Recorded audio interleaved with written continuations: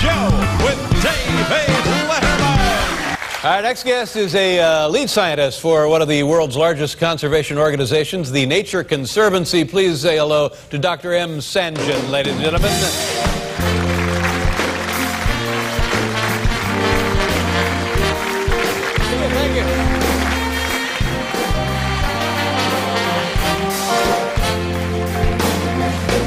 Had trouble with your name as well. It's Sanjayan. Is that right? That's right. And that's what I'll call you. I'll call you Sanjayan. And I'll call you Dave. Thank you. Now, uh, uh, all I want to know is uh, in the world of um, um, environmental change, uh, uh, cl- uh, climate uh, differences, uh, uh, is there anything positive to report? Well, the, the first thing you should realize is that we are the luckiest generation to be born on planet Earth because we still have time to do something about it. I mean, for millions of years, we walked around this planet basically looking at the horizon, um, and it ends two miles away, and not knowing what's coming around the other side. And then in one generation, our generation, we're up in space. We can see the whole planet. It's like someone handed us a crystal ball. Right. So we're either going to go down as the greatest generation that not just saved civilization but saved the world, the green generation, or we're going to go down as a bunch of losers who knew a lot about what's coming and didn't do nothing. So for me, the choice is pretty simple. I also think that in gen- this generation, particularly with climate change, the cost of dealing with it is currently affordable.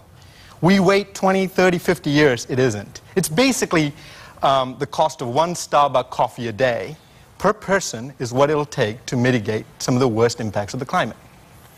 But uh, having said that, how do we get it going?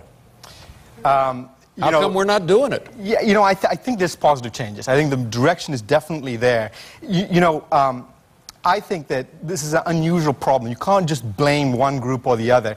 We've all created this problem. And so the solution's really in all our hands. And I think it's personal responsibility as well as pushing for things that we really believe in um, uh, uh, reducing emissions and protecting forests. I think those are the two biggest things that we can do. And we can get a handle on this. You know, we've faced major catastrophes before. We just didn't know they were coming. This one, we know it's coming. Mm-hmm. It's like buying an insurance policy. You know, you don't do it because you think your house is really going to burn down. But if it did, Right. it makes sense. But isn't it already here, and we don't know it? Isn't it? Isn't it more here than we thought it was going to be? And Well- here's something I heard on the radio the other day. In a couple of years, around the world, the unemployment rate will be 250 million people. 250 million people out of, out of work. And they say that these people, because of the circumstances, will be angry. Now, do you, do you, do you think that we will be able to get these folks to help save the planet when they're out of work and angry? Well, I, th- I mean, I th- you know, it, it's about reinventioning what the future of the planet Right. is. I mean, I- some of those changes are already here, and we're going to have to live with it. It's called adaptation. We have to adapt Right. to it.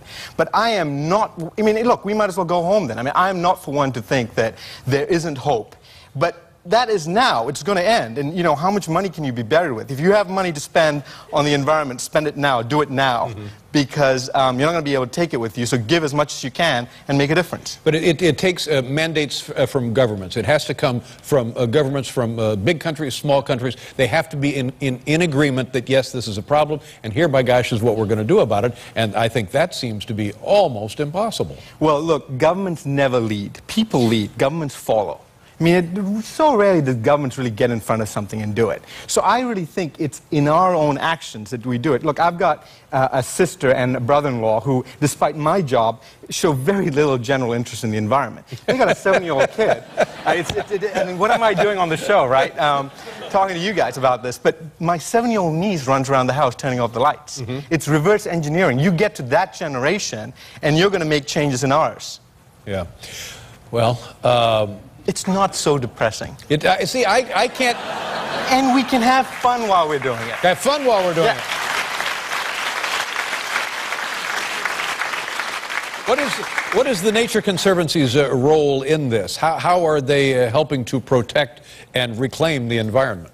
Well, you know, our job is pretty simple. We, we try to protect land, water, and the air for people, but also for nature. Um, on the climate side, our biggest thing is we want to stop deforestation because 20% of the carbon that puts out in the atmosphere comes from deforestation. You stop that, and you can have a big impact on, on, the, on the future of the climate. Mm-hmm. And the other thing we're known for is really getting things done at scale. Mm-hmm. And, and, and, I have the best job in the world being one of their lead scientists running around doing fun stuff. Yeah. Now, uh, let me ask you about the, the ongoing dependence of the United States on, on, on foreign oil. Yeah. Uh, uh, why, why, are we so dependent on foreign oil? And, and, and if we're worried about dependence on foreign oil, then, then why hasn't the government created a climate whereby alternative uh, energy uh, transportation has been encouraged and, and underwritten? I think it's the history of change. I think that will happen. Um, you know, we are going to get off our dependence on oil whether we want it or not. It's, it's either going to be forced on us or we're going to do it ourselves. Mm -hmm. I'm always for trying to do those things right. ourselves. Um, but, you know, give, give humanity a little bit of a break. I mean, we are staggered with the enormity of the problem. And it came on us pretty quickly. So I am optimistic that people, much smarter than me, in power, as well as common citizens around the planet, will take action to create the kind of movement necessary for this change. Yeah, uh, it just seems like uh, the problem began, they say, if you need to put a date on it, 1980. That's when we first realized mm -hmm. that there was carbon building up in, in, in, the atmosphere. So it seems to me like there should have been a more positive uh, move taken 1990, you know, right around 2000. Yeah. And, and, and now uh, I just, I, I, wish I could be more optimistic Absolutely. because it's, it's no longer trying to cure it, it's more about adaptability. Well, look, today is today 20 years from now. What? you got to make a difference somewhere, right? You got to start at some point. Yeah. You're right. I wish I was here in 1980 talking to you mm -hmm. about it, yeah. but I'm not. I'm here today. Mm -hmm. So, you know, I, I think that you're right, but I think that if we take action now, in the next five, ten years, we're going to go there. And, and generally, I see the trends heading in the right direction. I, I mean, I do. Maybe I'm, I'm optimistic about it, but boy, you know, you, you can't, you know, coffins don't sell just because they're on sale. and I, I, heard now that it's either uh, uh, Denmark or Finland uh, where they're taking uh, a device and, and pulling, uh, uh, belching the carbon dioxide and, and, and, pumping it into the sea bed, into the sea floor, and that there's a possibility that that may happen here off the coast of New Jersey. I mean, sort of reverse engineering. Yeah, actually pumping it, sucking it, rather than releasing it into the atmosphere, yeah. they pump it into the, essentially the core of the Earth. Is, is that a possibility? I think Will technology technology is definitely going to play a role in it. But I think that technology alone won't solve this. It also has to do with behavior, and it also has to do with adaptation. As you said, mm -hmm. we're going to have to make adjustments, not just for us, but for wildlife as well, in how we live. Mm. All right, well, I don't know.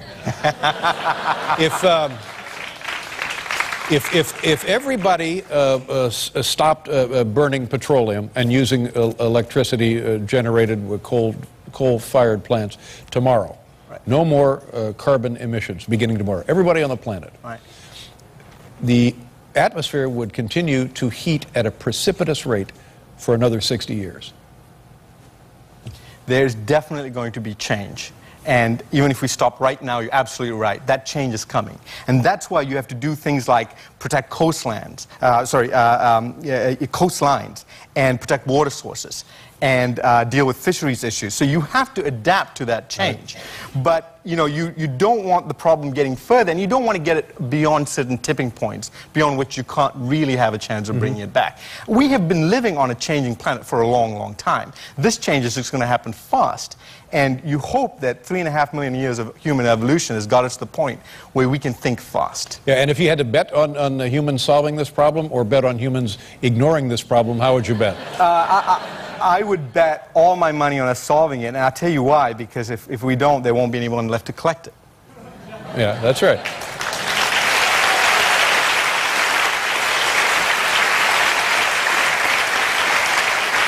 And what are you doing? When, when you're traveling around doing things, what are you doing now?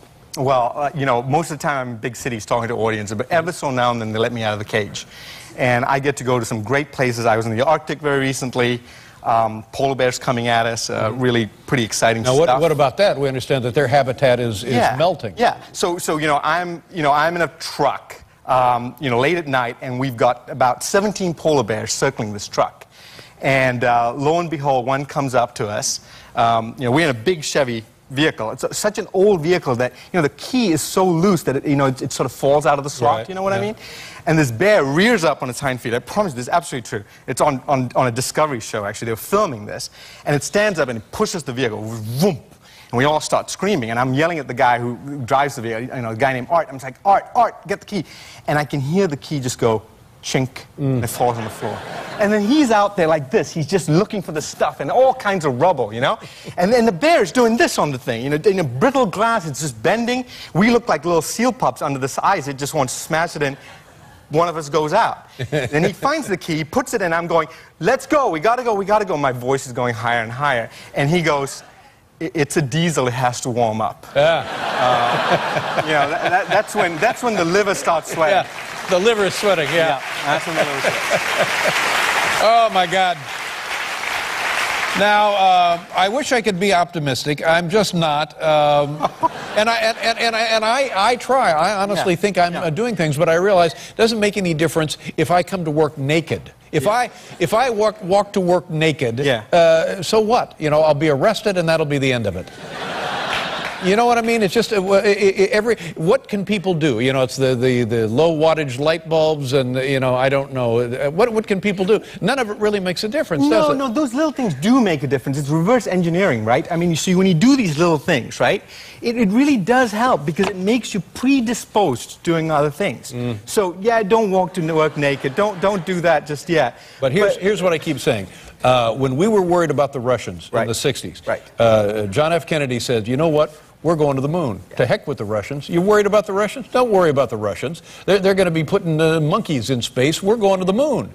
And by God, in 10 years, we went to the moon. And, and because people were motivated from fear of the Russians getting ahead of us. And that was why everybody could, could get behind this idea of going to the moon. So now I maintain that the fear of the planet turning into a smoking cinder is, is greater than the Cold War with the Russians, and yet you can't really get folks interested in this. Well, the, the reason is because folks are not, I mean, they don't think it's going to happen in their lifetime. So it's, it's you know, you, they would rather wait till later and then deal with it. So my thing is don't use fear as much as use, look, we can really envision this planet. For once in our life, we have a chance to make a difference and go down as the greatest generation in the history of the planet. I think here's what we need to do. The Russians are Right. trying to solve this problem And we need to do it faster. We don't want the Russians No. solving this problem. We want to solve this problem. The Iranians are trying to solve it. Sanjayan, nice to see you. Great seeing you. Good to have you here. Dr. M. Sanjayan. My thanks to Jack Black. Michelle Pfeiffer is here tomorrow. Good night, everybody.